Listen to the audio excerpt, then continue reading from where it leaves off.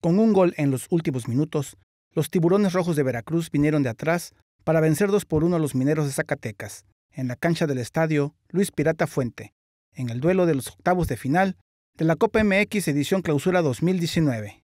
Los goles del encuentro fueron de Fernando Morales al minuto 45 del primer tiempo por Mineros.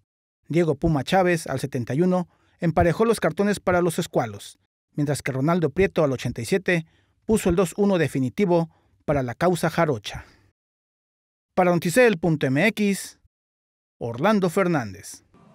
Raza, soy Alex Lora, el gritante del Tri de México, invitándolos a conectarse a la revista Solo Ofertas, en donde pueden encontrar trabajo y muchas oportunidades viendo la sección Solo Empleos.